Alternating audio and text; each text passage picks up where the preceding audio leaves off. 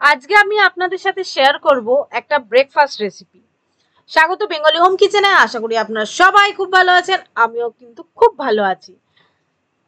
যারা চিজ খেতে পছন্দ করেন না, তাদের জন্য চিজ ছাড়া একটা পাস্তা রেসিপি নিয়ে এসেছি। যেটা বলতে পারেন টিফিন বক্স রেসিপি এটা আপনারা বানিয়ে টিফিন বক্সে করে অফিসে বা বাচ্চাদের টিফিনেও দিতে পারেন, বা এটা সকালবেলার ব্রেকফাস্টে দারুণ লাগে। কোন কারণ হচ্ছে এক একদিন আমাদের লুচি, পরোটা, রুটি কিছুই খেতে ইচ্ছে করে না। সেদিন এই পাস্তা রেসিপিটা অবশ্যই ট্রাই করতে পারেন। তাহলে চলুন দেখে নেওয়া যাক এই ঝুরঝুরে, দারুণ টেস্টি পাস্তাটা কীভাবে বানিয়েছি। তার জন্য ফার্স্টে আমাদের পাস্তাটাকে সেদ্ধ করে নিতে হবে। তো তার জন্য আমি এখানে গ্যাস জেলে জল বসিয়েছি। জলের মধ্যে দিয়ে দিলাম নুন আর তেল। নুন তেল দিয়ে পাস্তা সেদ্ধ করবেন যেরকম চাউমিন সেদ্ধ করি আমরা, তাহলে দেখবেন একটার সাথে একটা পাস্তা লাগবে না। যেই জলটা ফুটতে শুরু করবে, সেই আমাদের দিয়ে দিতে হবে পাস্তা। আমি এখানে ম্যাকরনি পাস্তা ইউজ করেছি, আপনারা চাইলে যে কোনো পাস্তা ব্যবহার করতে পারেন। তো পাস্তাটা সেদ্ধ হতে মোটামুটি তিন থেকে চার মিনিট সময় লাগে, মিডিয়াম আছে, ফোটাতে থাকবেন। যখন দেখবেন পাস্তাটা এভাবে সেদ্ধ হয়ে গেছে, দেখবেন একটা ছুরি দিয়ে কাটবেন, দেখবেন পাস্তাটা কেটে যাচ্ছে, তখন বুঝবেন যে আপনাদের পাস্তাটা পাস্তাটা সেদ্ধ হয়ে গেছে। পাস্তা সেদ্ধ হয়ে যাওয়া মাত্রই কিন্তু জলটাকে ঝরিয়ে নিতে হবে। একটা ছাঁকনিতে এভাবে জলটা ঝরিয়ে নেবেন আর এইভাবেই রেখে দিতে হবে পাঁচ থেকে দশ মিনিট যাতে এক্সট্রা জলটাও আমাদের ঝরে যায়। পাস্তাটা দেখতেই পাচ্ছেন, তেল দিয়ে সেদ্ধ করেছি বলে একটার সাথে একটা লেগে যাচ্ছে না, তেল দিয়ে সেদ্ধ করলে এরকম ঝরঝরে হয়। তো পাস্তাটা বানানোর জন্য আমি যে যে ইনগ্রেডিয়েন্টসগুলো নিয়েছি সেগুলো চলুন দেখে নেওয়া যাক। নিয়েছি এখানে পেঁয়াজ, রসুন, কাঁচা লঙ্কা গাজর ক্যাপসিকাম আর টমেটো। টমেটো একটু বেশি পরিমাণ নিয়েছি, সব ছোট ছোট করে কুচিয়ে নিয়েছি। তো পাস্তা বানানোর জন্য আমি এখানে ফ্রাইং প্যান, গ্যাস জেলে বসিয়ে দিয়েছি এবং তার মধ্যে দিয়ে দিয়েছি এক চামচ মতো তেল, সাদা তেল, আর তার সাথে দিয়েছি অল্প একটু বাটার। বাটার দিলে খুব সুন্দর খেতে হয়, আর, যেই বাটার আর তেলটা গরম হয়ে যাবে, তখন এর মধ্যে দিয়ে দিতে হবে রসুন আর কাঁচা লঙ্কাটা ফার্স্টে রসুন, কাঁচা লঙ্কাটা ভাজা ভাজা হয়ে যাওয়ার পর তার মধ্যে দিয়ে দেবেন পেঁয়াজ, ক্যাপসিকামটা। পেঁয়াজ, ক্যাপসিকামটা একটু নাড়াচাড়া করে নিতে হবে আর গ্যাসের ফ্লেমটা মিডিয়াম করে দেবেন, না হলে কিন্তু তলায় ধরে যেতে পারে। যেহেতু আমার এটা স্টিলের ফ্রাইং প্যান, তাই আরোই ধরে যাবে। এতে কিন্তু বেশি বাটার, বেশি তেল দেবেন না, তাহলে কিন্তু খেতে খুব একটা ভালো লাগবে না। এটা একটু চাইনিজ টাইপের করেছি তো সেই জন্য।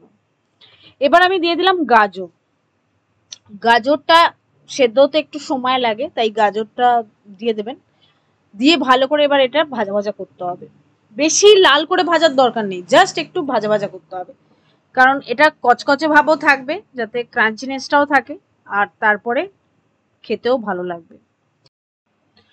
এবার সবজিগুলো বেশি ভাজার দরকার নেই, সবজিগুলো দেখতেই পাচ্ছেন একটুখানি সফট হয়ে গেছে। এই সফট অবধি নাড়াচাড়া করতে হবে। তারপর এর মধ্যে রেগুলারে কিছু মশলা দিয়ে দেবো। যেমন দিচ্ছি স্বাদ মতো নুন, নুনটা বুঝে দেবেন, কারণ পাস্তা বয়েলের সময় আমরা নুন ইউজ করেছি। এবার এর মধ্যে দিয়ে দিলাম কাশ্মীরি রেড চিলি পাউডার দিয়ে দিলাম একটু ঝাল লাল লঙ্কার গুঁড়ো। ঝালটা অবশ্যই আপনাদের টেস্ট অনুযায়ী দেবেন, কারণ লঙ্কা মানে কাঁচা লঙ্কাও কুচিয়ে দিয়েছি। এটা একটু স্পাইসি হলেই আমার মনে হয় খেতে ভালো লাগে। তো আমি একটু স্পাইসি করেই করি, আপনারা আপনাদের টেস্ট অনুযায়ী করবেন। যাতে মশলাটা পুড়ে না যায়, তাই জন্য অল্প এক চামচ মতো জল দিয়ে দিলাম। জল দেওয়ার জল দেওয়ার পর ভালো করে নাড়াচাড়া করে মিশিয়ে দিচ্ছি। আর এটা যতক্ষণ না জলটা শুকোচ্ছে, ততক্ষণ একটু রান্না করতে হবে মিডিয়াম টু লো ফ্লেমে। চাপা দেওয়ার দরকার নেই। দেখতেই পাচ্ছেন, জলটা একদম শুকিয়ে গেছে, তেল বেরিয়ে গেছে, মশলা একদম কষানো হয়ে গেছে, কাঁচা মশলার গন্ধও চলে গেছে। এবার এর মধ্যে যেটা অ্যাড করছি সেটা হচ্ছে হট অ্যান্ড সাওয়ার সস যেটা ম্যাগি কোম্পানির ইউজ করেছি আমি। তো এটা আমার মনে হয় খুব ভালো লাগে খেতে আমার, কারণ একটুখানি মিষ্টি মিষ্টিও থাকে সব কিছু মেশানো আছে, আমার এই সসটা খুব পছন্দ। এছাড়া আপনারা যে কোনো সস আপনাদের ফেভারিট সস দিতে পারেন। দিয়ে ভালো করে একটু নাড়াচাড়া করে নিতে হবে। নেওয়ার পরই এর মধ্যে দিয়ে দিতে হবে বয়েল করা পাস্তাটা। পাস্তাটা দেওয়ার পর খুব ভালোভাবে মিশিয়ে দিতে হবে একসাথে এবং মিডিয়াম ফ্লেমে কিছুক্ষণ নাড়াচাড়া করতে হবে। তারপর এর মধ্যে দিয়ে দিতে হবে গোলমরিচ গুঁড়ো। গোলমরিচ গুঁড়োর সাথেই দিয়ে দিলাম আমি হচ্ছে অরিগানো অরিগানো না থাকলে আপনারা মিক্সড হার্বসও দিতে পারেন, সেটাও চলবে। আর দিয়ে দিলাম একটু ঝাল ঝাল হওয়ার জন্য কাঁচা লঙ্কা কুচি। আর একটু কাঁচা লঙ্কা কুচি। ওই যে বললাম আমার একটু ঝাল ঝাল খেতে ভালো লাগে এটা, তাই আমি আমার মতো টেস্টের করেছি। আপনারা যদি লাল লঙ্কা মানে এরকম লাল লঙ্কা না থাকে, আপনারা চিলি ফ্লেক্সও ইউজ করতে পারেন, তাহলেও কিন্তু ভালো লাগে। ঝালটা আবারও বলছি, আপনাদের টেস্ট অনুযায়ী দেবেন। আমি একটু চিলি ফ্লেক্সও অ্যাড করেছি। দিয়ে এটা জাস্ট মিশিয়ে নিলেই হয়ে যাবে একদম রেডি আমাদের পাস্তা সবই দিলাম, সবই রয়েছে। অসাধারণ খেতে হয়, অবশ্যই একবার বানান। একদম রেডি হয়ে গেছে আমার পাস্তা গ্যাস বন্ধ করে দিয়েছি, এটা গরম গরম অবশ্যই খাবেন। অবশ্যই কমেন্ট করে জানাবেন আপনাদের এই রেসিপিটা কেমন লাগল। যদি ভালো লেগে থাকে তাহলে একটা লাইক করে যেতে ভুলবেন না শেয়ার করবেন বন্ধু ফ্রেন্ডসদের মাঝে। রেডি হয়ে গেল জুসি স্পাইসি ভাজা ভাজা ম্যাক্রনি পাস্তা একদম অন্যরকম স্টাইলে তো অবশ্যই বানান এই রেসিপিটা আর কমেন্ট করবেন আমাকে কেমন লাগল। যদি ভালো লাগে, তাহলে বেঙ্গলি হোম কিচেনকে সাবস্ক্রাইব করতে হবে।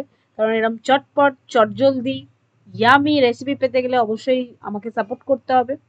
আজকের মতো ভিডিওটা এখানেই শেষ করছি। সবাই ভালো থাকুন, সুস্থ থাকুন। খুব তাড়াতাড়ি চলে আসব আবার একটি দুর্দান্ত এরম রেসিপি নিয়ে।